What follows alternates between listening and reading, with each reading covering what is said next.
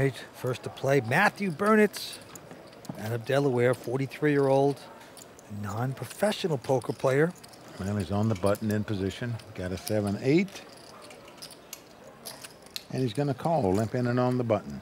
He certainly is. Ben limps in out of the small blind, and Tyler happy to see a flop with the 4-3.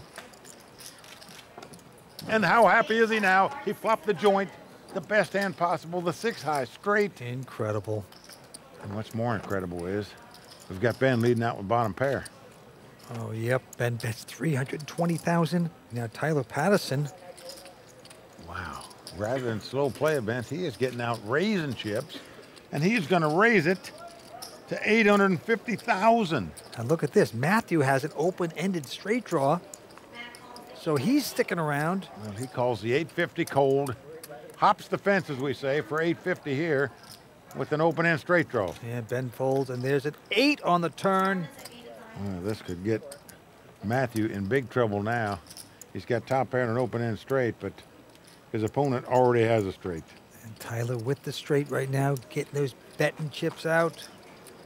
Yeah, he's getting out the heavy artillery here. 1.7 million is the bet. That is big. What do you do? You're sitting in Matthew's seat. Remember, Tyler raised on the flop when Ben led out. Now he's bet 1.7 million here on the turn and got called in the nine comes off. Oh, wow. A four card straight on the board.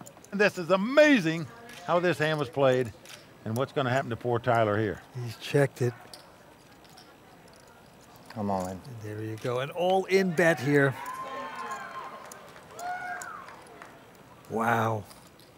Vince Tyler's only got about four million left. Question is, did he have to bet that much? He could chase Tyler away Well, with this. Over 10 million in the pot. You have to specifically put your opponent on a seven to lay this hand down. No other hand can the guy have. He must have a seven in his hand. He laid it down, and what a laydown that is by Tyler Patterson.